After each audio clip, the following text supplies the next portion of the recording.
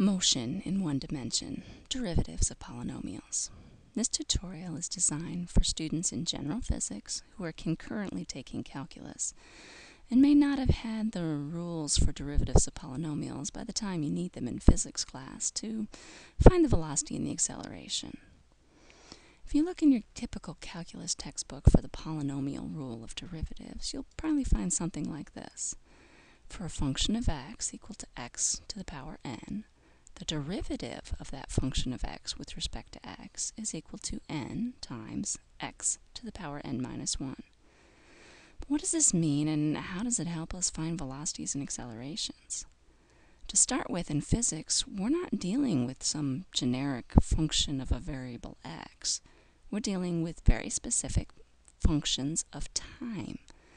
So we're first going to change our general rules here to use specifically a function of time, which is a power t to the n, and the derivatives with respect to time of those functions.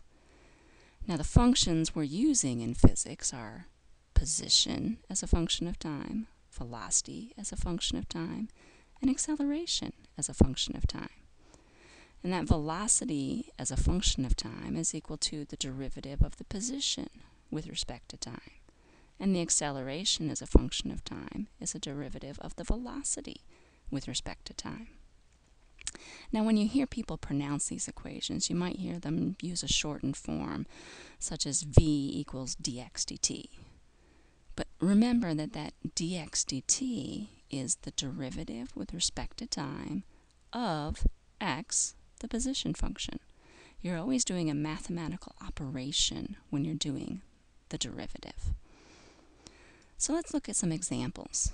We'll take our general definitions and keep them down here at the bottom. If I have a position equation where the position as a function of time is equal to t cubed, then my velocity as a function of time is the derivative with respect to time of that specific function t cubed. According to our polynomial rule, that power 3 comes out front, and my power is then reduced by 1, 3 minus 1, and that simplifies down to 3 t squared. So if I start with a position t cubed, my velocity is 3 t squared. Here's another example. Let's say I've got position as a function of time equal to t squared. Well, the velocity is the derivative of t squared. Polynomial rule, the 2 comes out front. I've got 2 minus 1, which is just 1. And 2 t to the 1 is the same thing as 2t. Now there's a couple of examples that might be a little more tricky. So for example, what if I had 5t squared. Well, then my derivative is the derivative of 5t squared, and that 5 comes out front, but I still have the same derivative of t squared. And so instead of 2t, I now have 10t.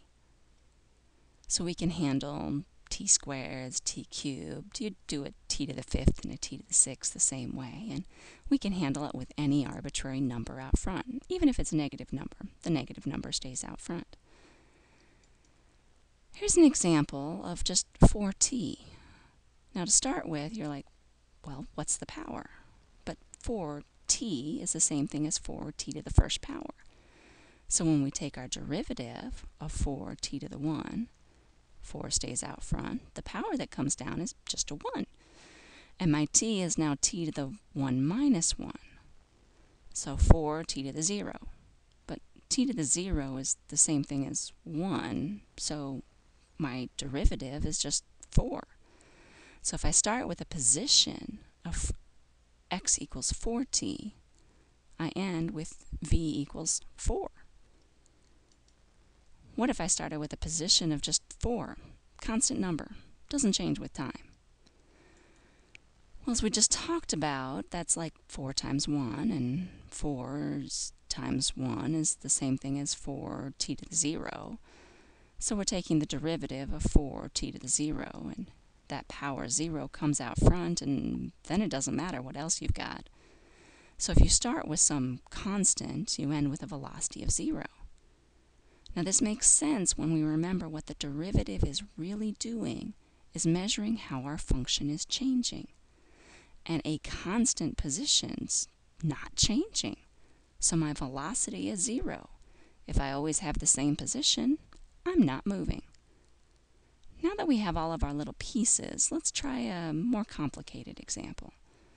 Say a position as a function of time, which has more than one term, 5 minus 4t squared plus 2t cubed. Well, then my velocity is the derivative with respect to time of that entire function. Luckily, with our derivative rules, we can break that up. Take the derivative with respect to time of 5, the derivative with respect to time of minus 4t squared, and the derivative with respect to time of 2t cubed. Now we've seen all of these. The derivative of the constant just becomes 0. For the one where you've got the squared, our number comes out front, minus 4 times 2t. And then we've got 2, 3t squared.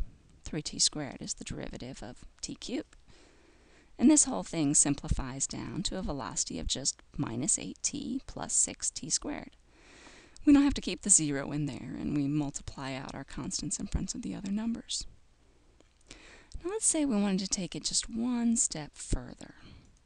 Let's take our position and our velocity that we just found, and let's find the acceleration too.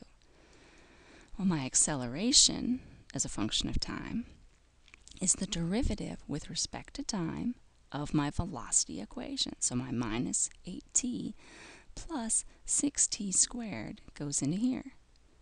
Again, we can break that derivative down term by term.